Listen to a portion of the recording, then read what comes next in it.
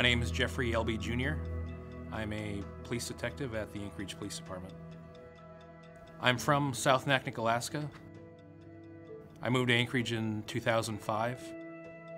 Just uh, on the BBNC webpage one day, and I, saw Training Without Walls was accepting applicants. My name is Jared Anderson. I am the manager of BHC and CRS operations at South Central Foundation. I was in the Navy for, for quite some time. And when I got out, I was looking at several different career fields. I was thinking about law, um, and it was the, the creation of the management trainee position that was able to get me back up here. So I, I applied for TWOW. You know, it's a funny story. I was actually commercial fishing. One of the busiest times of the year for me. Uh, made it a point to get to shore to have a few minutes to look over my materials before uh, being interviewed by Casey Sifsoff.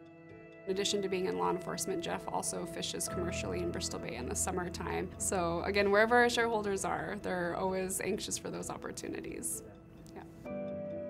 So the management training program, it's a very specific, intentional program um, that builds a person's capacity to really learn about their own management style uh, and really to be a leader in the organization.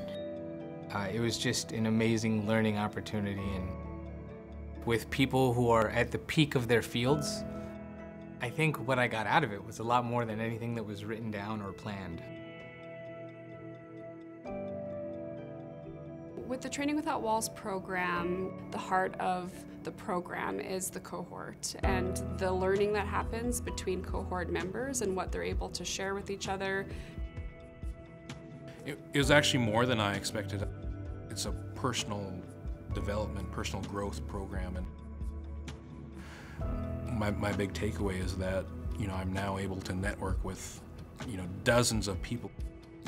These are folks that I wouldn't have have probably met had, had it not been for Training Without Walls. No, it's just, it's, it's not just a great place to come and develop, it's, it's, and, and learn in the way that, that the management trainee helps. It was just a great place to come to work.